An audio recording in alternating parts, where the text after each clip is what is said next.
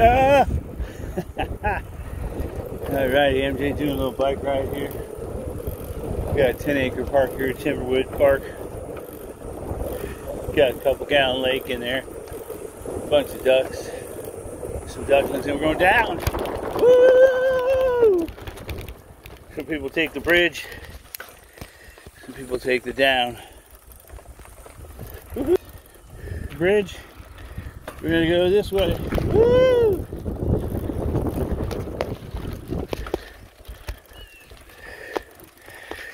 Go.